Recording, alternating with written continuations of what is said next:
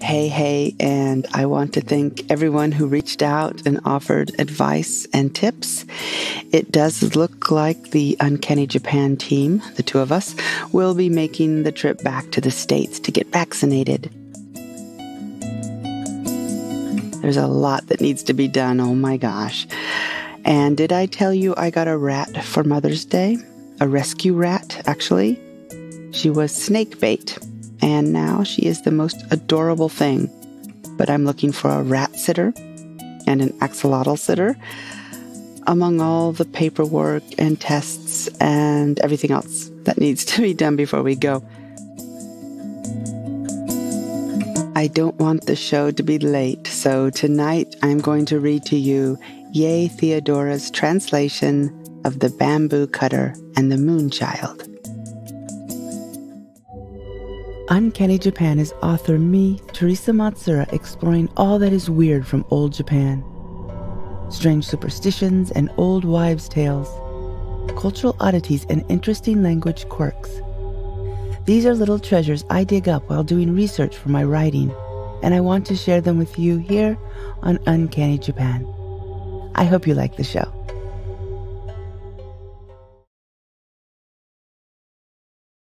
The Bamboo Cutter and the Moonchild. Long, long ago, there lived an old bamboo woodcutter.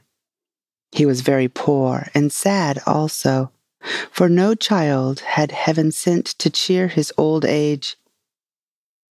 And in his heart there was no hope of rest from work till he died and was laid in the quiet grave. Every morning he went forth into the woods and hills wherever the bamboo reared its green plumes against the sky. When he had made his choice, he would cut down these feathers of the forest, and splitting them lengthwise or cutting them into joints, would carry the bamboo wood home and make it into various articles for the household. And he and his old wife gained a small livelihood by selling them. One morning, as usual, he had gone out to his work, and having found a nice clump of bamboos, had set to work to cut some of them down. Suddenly, the green grove of bamboos was flooded with a bright, soft light, as if the full moon had risen over the spot. Looking round in astonishment, he saw that the brilliance was streaming from one bamboo. The old man, full of wonder, dropped his axe and went toward the light. On nearer approach, he saw that the soft splendor came from a hollow in the green bamboo stem. And still more wonderful to behold, in the midst of the brilliance stood a tiny human being. Only three inches in height and exquisitely beautiful in appearance. You must be sent to be my child, for I find you here among the bamboos where lies my daily work, said the old man. And taking the little creature in his hand, he took it home to his wife to bring up. The tiny girl was so exceedingly beautiful and so small that the old woman put her into a basket to safeguard her from the least possibility of being hurt in any way. The old couple were now very happy for it had been a lifelong regret that they had no children of their own.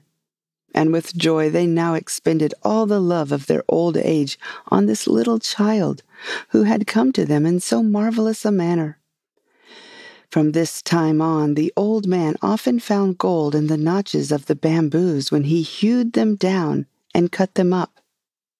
Not only gold, but precious stones also so that by degrees he became rich.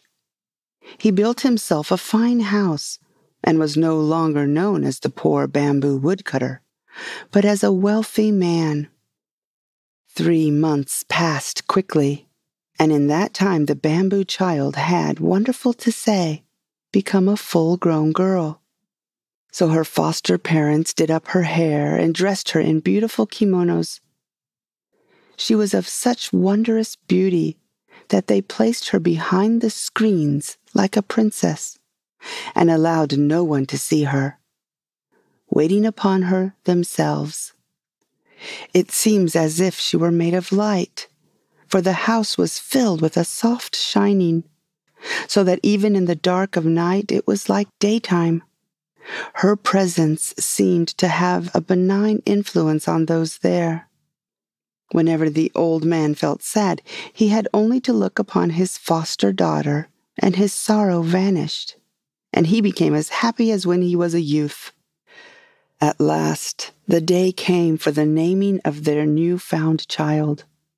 So the old couple called in a celebrated name giver, and he gave her the name of Princess Moonlight, because her body gave forth so much soft, bright light that she might have been a daughter of the moon god. For three days the festival was kept up with song and dance and music. All the friends and relations of the old couple were present, and great was their enjoyment of the festivities held to celebrate the naming of Princess Moonlight. Everyone who saw her declared that there never had been seen anyone so lovely. All the beauties throughout the length and breadth of the land would grow pale beside her. So they said. The fame of the princess's loveliness spread far and wide, and many were the suitors who desired to win her hand, or even so much as to see her. Suitors from far and near posted themselves outside the house and made little holes in the fence in hope of catching a glimpse of the princess as she went from one room to the other along the veranda. They stayed there day and night, sacrificing even their sleep for a chance of seeing her. But all in vain. Then they approached the house and tried to speak to the old man and his wife or some of the servants, but not even this was granted them. Still, in spite of this disappointment, they stayed on day after day and night after night and counted it as nothing. So great was their desire to see the princess. At last, however, most of the men, seeing how hopeless their quest was, lost heart and hope both. They returned to their homes. All except five knights whose ardor and determination, instead of waning, seemed to wax greater with obstacles. These five men even went without their meals and took snatches of whatever they could get brought to them, so that they might always stand outside the dwelling. They stood there in all weathers, in sunshine and in rain. Sometimes they wrote letters to the princess, but no answer was vouchsafed to them. Then, when letters failed to draw any reply, they wrote poems to her telling her of the hopeless love which kept them from sleep, from food, from rest, and even from their homes. Still, Princess Moonlight gave no sign of having received their verses. In this hopeless state, the winter passed.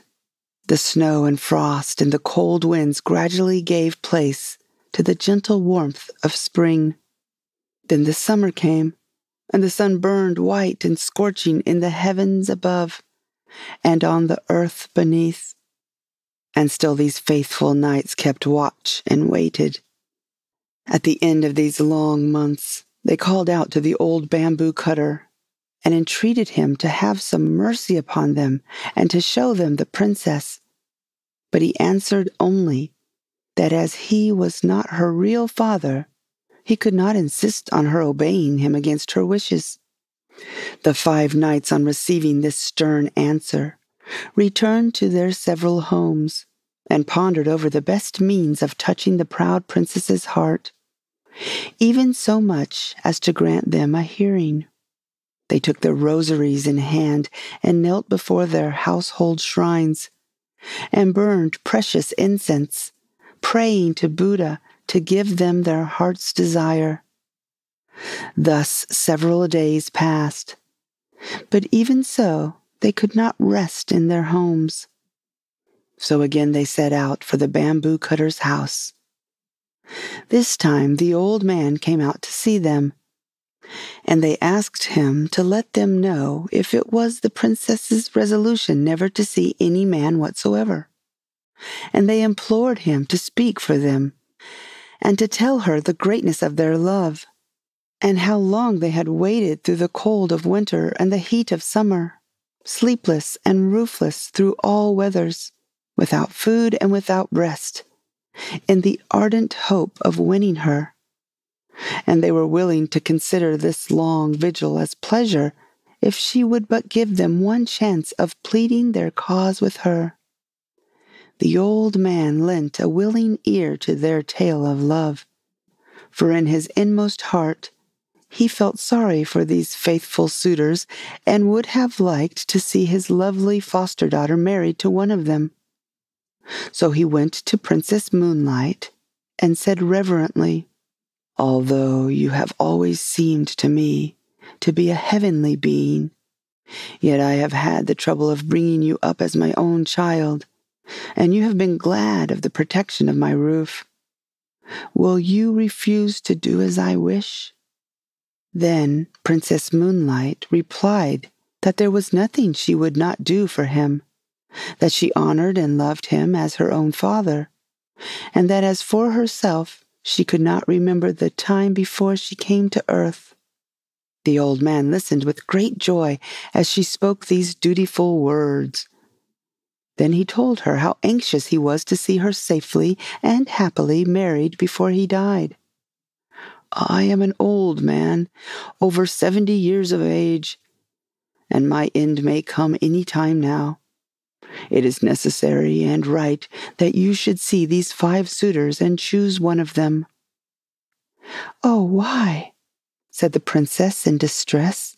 Must I do this? I have no wish to marry now. I found you, answered the old man, many years ago, when you were a little creature three inches high, in the midst of a great white light. The light streamed from the bamboo in which you were hid and led me to you. So I have always thought that you were more than mortal woman. While I am alive, it is right for you to remain as you are if you wish to do so. But some day I shall cease to be, and who will take care of you then? Therefore, I pray you to meet these five brave men, one at a time, and make up your mind to marry one of them. Then the princess answered that she felt sure that she was not as beautiful as perhaps report made her out to be, and that even if she consented to marry any one of them, not really knowing her before, his heart might change afterwards. So as she did not feel sure of them, even though her father told her they were worthy knights, she did not feel it wise to see them. All you say is very reasonable, said the old man. But what kind of men will you consent to see? I do not call these five men who have waited on you for months light hearted. They have stood outside this house through the winter and the summer after denying themselves food and sleep so that they may win you. What more can you demand?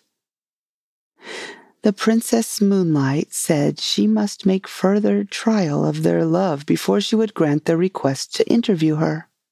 The five warriors were to prove their love by each bringing her from distant countries something that she desired to possess. That same evening, the suitors arrived and began to play their flutes in turn and to sing their self composed songs telling of their great and tireless love. The bamboo cutter went out to them and offered them his sympathy for all they had endured and all the patience they had shown in their desire to win his foster daughter. Then he gave them her message that she would consent to marry whosoever was successful in bringing her what she wanted. This was to test them. The five all accepted the trial and thought it an excellent plan, for it would prevent jealousy between them. Princess Moonlight then sent word to the first knight that she requested him to bring her the stone bowl which had belonged to Buddha in India. The second knight was asked to go to the mountain of Horai, said to be situated in the eastern sea, and to bring her a branch of the wonderful tree that grew on its summit. The roots of this tree were silver, the trunk gold, and the branches bore as fruit white jewels.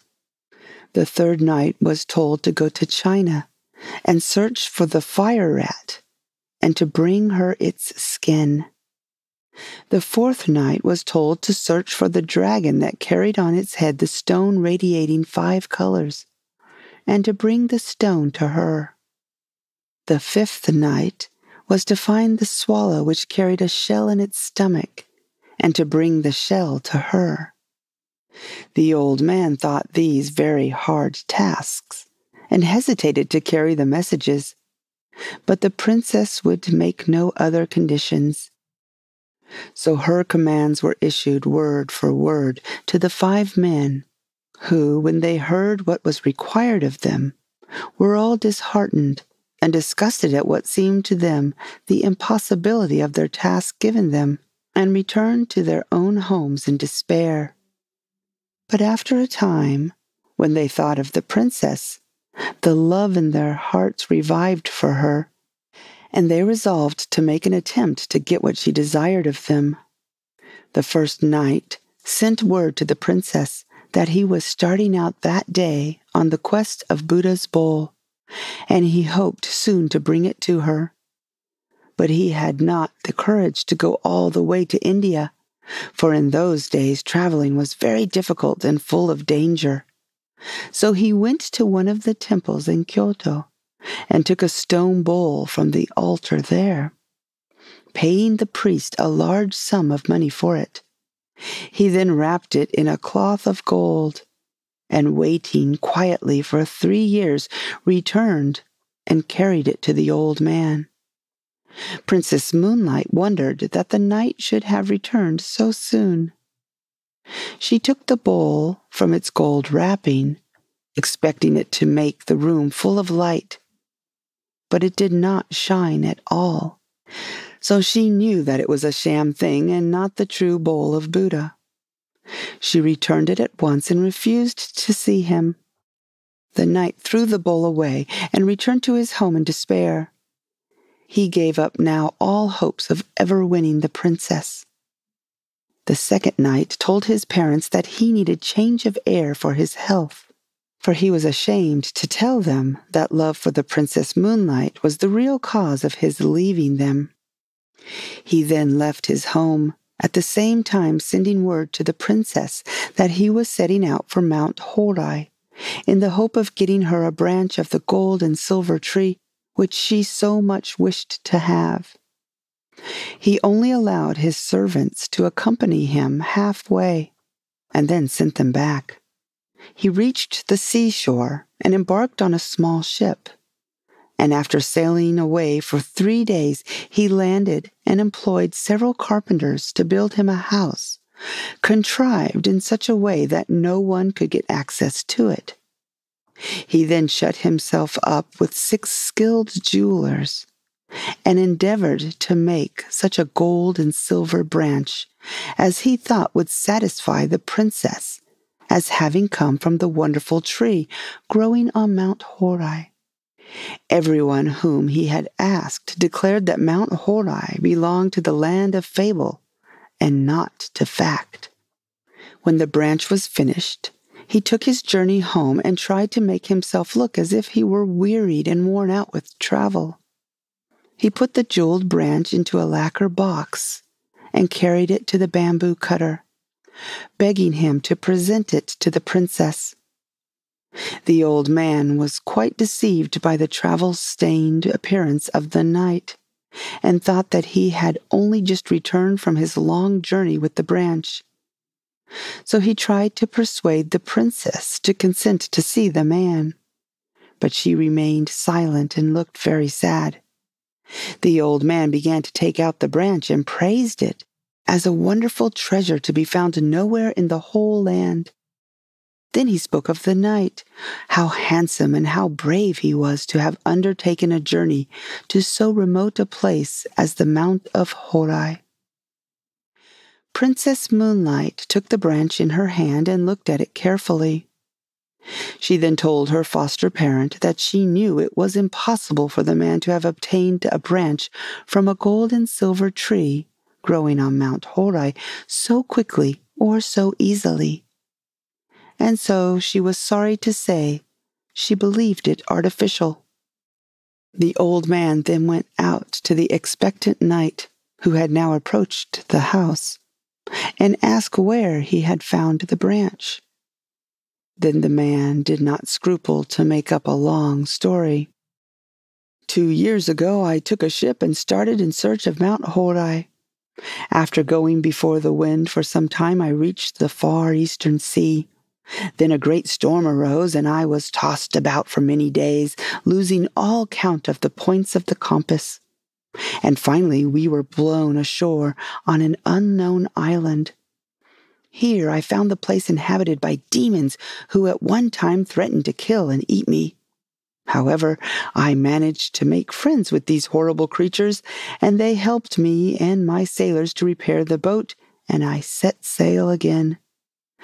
Our food gave out, and we suffered much from sickness on board. At last, on the five hundredth day from the day of starting, I saw far off on the horizon what looked like the peak of a mountain. On nearer approach, this proved to be an island, in the center of which rose a high mountain. I landed, and after wandering about for two or three days, I saw a shining being coming towards me on the beach holding in his hands a golden bowl. I went up to him and asked if I had by good chance found the island of Mount Horai. And he answered, Yes, this is Mount Horai.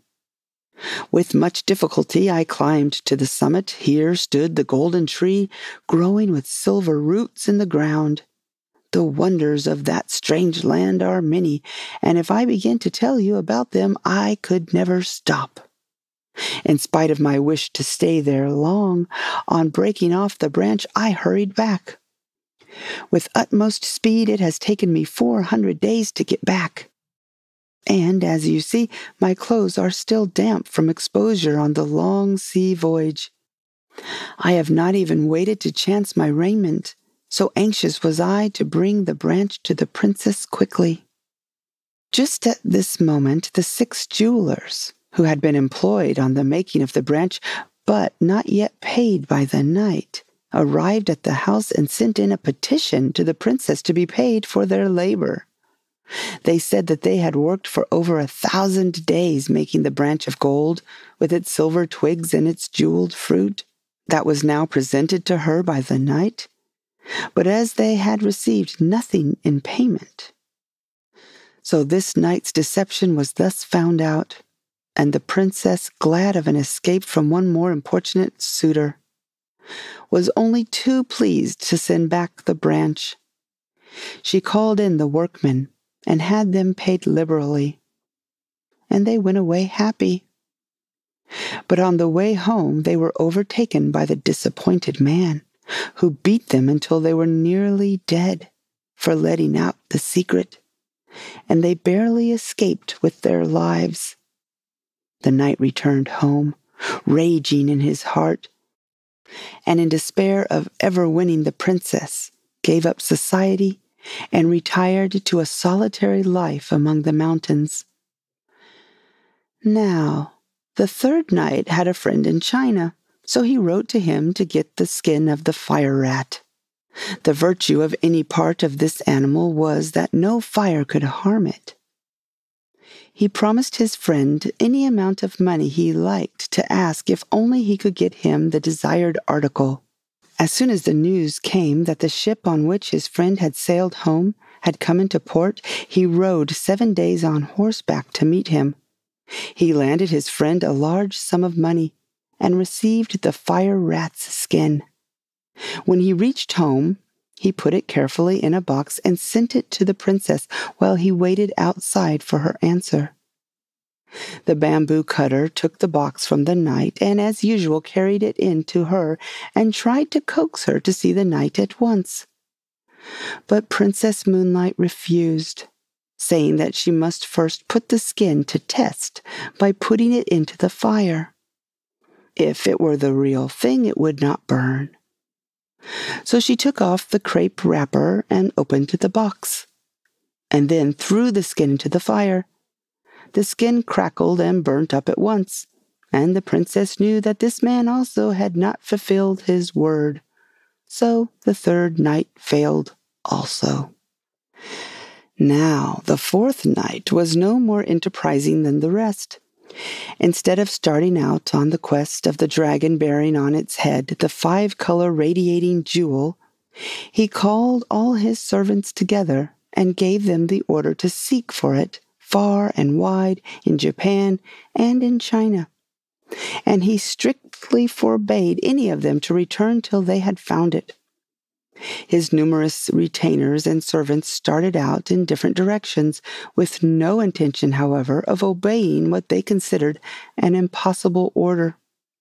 They simply took a holiday, went to pleasant country places together, and grumbled at their master's unreasonableness. The knight, meanwhile, thinking that his retainers could not fail to find the jewel, repaired to his house and fitted it up beautifully for the reception of the princess. He felt so sure of winning her. One year passed away in weary waiting, and still his men did not return with the dragon jewel. The knight became desperate.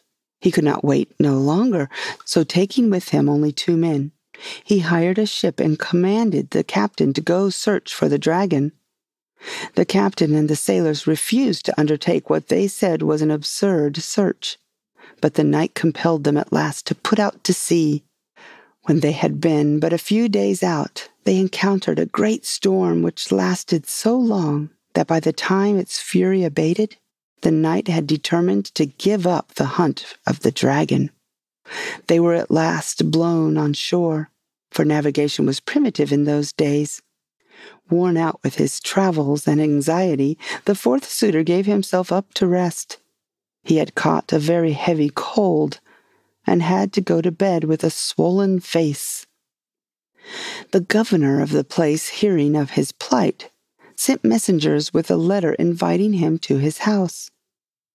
While he was there thinking over all his troubles, his love for the princess turned to anger and he blamed her for all the hardships he had undergone. He thought that it was quite probable she had wished to kill him so that she might be rid of him, and in order to carry out her wish, had sent him upon this impossible quest. At this point, all of the servants he had sent out to find the jewel came to see him, and were surprised to find praise instead of displeasure awaiting them. Their master told them that he was heartily sick of adventure and said that he never intended to go near the princess's house again in the future. Like all the rest, the fifth knight failed in his quest. He could not find the swallow's shell.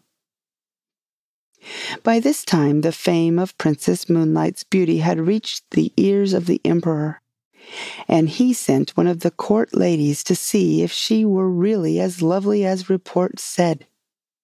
If so, he would summon her to the palace and make her one of the ladies in waiting.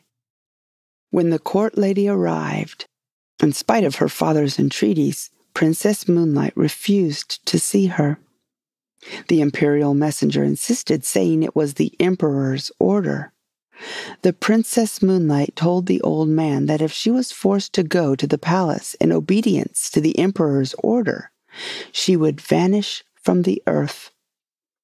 When the Emperor was told of her persistence in refusing to obey his summons, and that if pressed to obey, she would disappear altogether from sight, he determined to go and see her.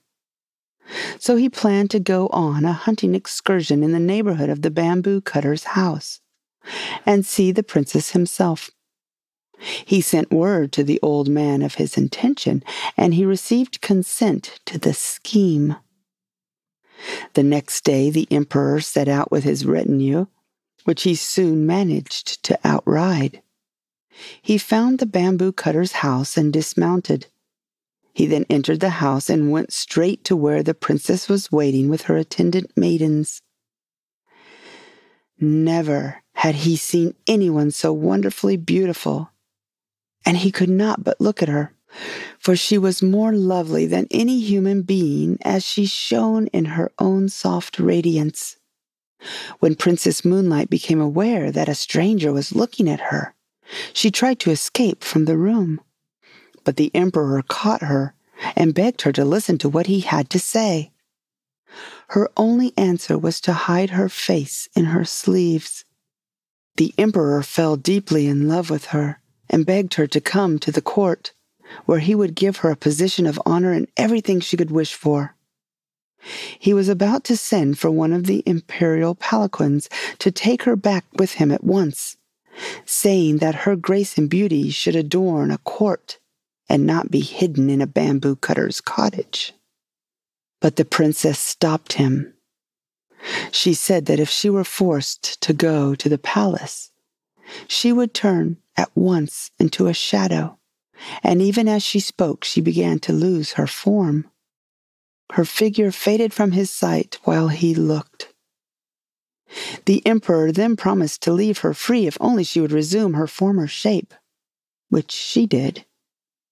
It was now time for him to return, for his retinue would be wondering what had happened to their royal master when they missed him for so long. So he bade her goodbye and left the house with a sad heart. Princess Moonlight was for him the most beautiful woman in the world. All others were dark beside her. And he thought of her night and day. His Majesty now spent much of his time in writing poems, telling her of his love and devotion, and sent them to her. And though she refused to see him again, she answered with many verses of her own composing, which told him gently and kindly that she could never marry anyone on this earth. These little songs always gave him pleasure. At this time, her foster parents noticed that night after night the princess would sit on her balcony and gaze for hours at the moon, in a spirit of the deepest dejection, ending always in a burst of tears.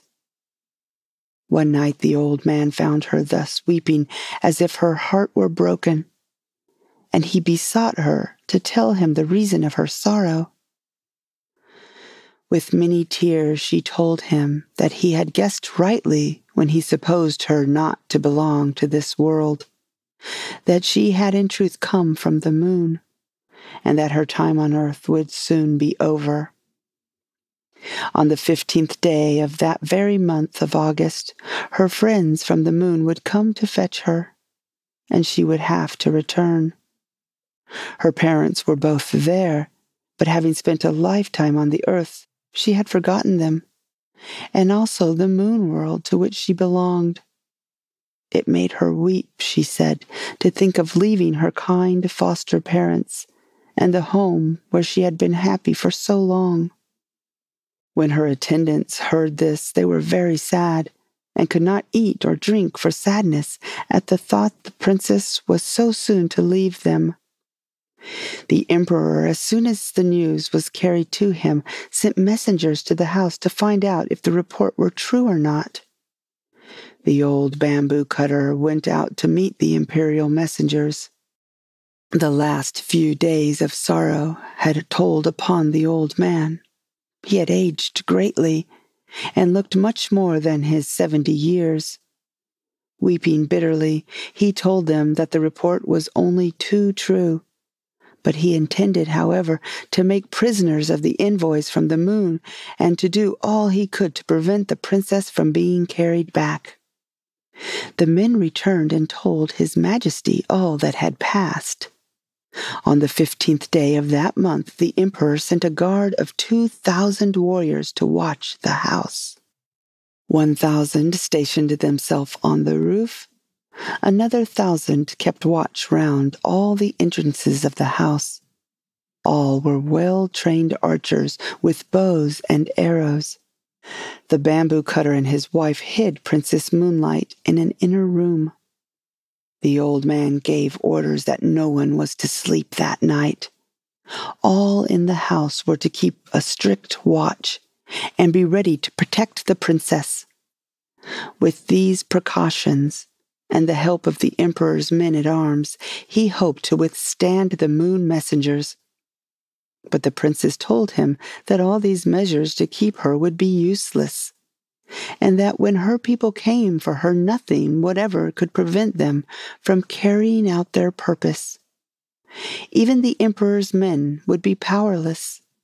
Then she added with tears that she was very, very sorry to leave him and his wife, whom she had learned to love as her parents, that if she could do as she liked, she would stay with them in their old age and try to make some return for all the love and kindness they had showered upon her all her earthly life. The night wore on. The yellow harvest moon rose high in the heavens, flooding the world asleep with her golden light. Silence reigned over the pine and bamboo forests, and on the roof where the thousand men at arms waited. Then the night grew gray towards the dawn, and all hoped that the danger was over, that Princess Moonlight would not have to leave them after all. Then suddenly the watchers saw a cloud form round the moon, and while they looked, this cloud began to roll earthwards. Nearer and nearer it came, and everyone saw with dismay that its course lay towards the house. In a short time, the sky was entirely obscured, till at last the cloud lay over the dwelling only ten feet off the ground. In the midst of the cloud there stood a flying chariot, and in the chariot a band of luminous beings. One amongst them, who looked like a king and appeared to be the chief, stepped out of the chariot and, poised in air, called to the old man to come out. The time has come, he said, for Princess Moonlight to return to the moon from whence she came. She committed a grave fault, and as punishment was sent to live down here for a time. We know what good care you have taken of the princess, and we have rewarded you with this, and have sent you wealth and prosperity. We put the gold in the bamboos for you to find. I have brought up this princess for twenty years, and never once has she done a wrong thing. Therefore, the lady you are seeking cannot be this one, said the old man. I pray you look elsewhere. Then the messenger called aloud, saying, Princess Moonlight, come out from this lowly dwelling. Rest not here another moment. At these words, the screens of the princess's room slid open of their own accord, revealing the princess shining in her own radiance, bright and wonderful and full of beauty. The messengers led her forth and placed her in the chariot. She looked back and saw with pity the deep sorrow of the old man. She spoke to him many comforting words and told him that it was not her will to leave him and that he must always think of her when looking at the moon. The bamboo cutter implored to be allowed to accompany her, but this was not allowed. The princess took off her embroidered outer garment and gave it to him as a keepsake. One of the moon beings in the chariot held a wonderful coat of wings. Another had a vial full of elixir of life, which was given to the princess to drink. She swallowed a little and was about to give the rest to the old man, but she was prevented from doing so. The robe of wings was about to be put upon her shoulders, but she said, Wait a little while. I must not forget my good friend, the Emperor. I must write him once more to say goodbye while still in this human form. In spite of the impatience of the messengers and charioteers, she kept them waiting while she wrote. She placed the phial of elixir of life with the letter, and giving them to the old man, she asked him to deliver them to the emperor. Then the chariot began to roll heavenwards toward the moon. And as they all gazed with tearful eyes at the receding princess, the dawn broke. And in the rosy light of day, the moon chariot and all in it were lost amongst the fleecy clouds that were now wafted across the sky on the wings of the morning wind. Princess Moonlight's letter was carried to the palace. His Majesty was afraid to touch the elixir of life, so he sent it with the letter to the top of the most sacred mountain in the land, Mount Fuji. And there the royal emissaries burnt it on the summit at sunrise. So to this day people say there is smoke to be seen rising from the top of Mount Fuji to the clouds. The end. Thank you so much for listening. I will talk to you again real soon. Bye bye. You've just reached the end of another episode of Uncanny Japan. Perhaps you'd like more. A monthly folk tale translated and retold by me. The occasional binaurally mic'd soundscape like the ones you hear on this show. Or recipes, behind the curtain episodes, homemade postcards, and more. If you're interested in that or supporting the show in any way, please search for Uncanny Japan and Patreon. We've got a wonderful group over there. Thank you again for listening, supporting, reviewing, and telling your friends about the show. My name is Thersa Matsuura, and I will talk to you again soon.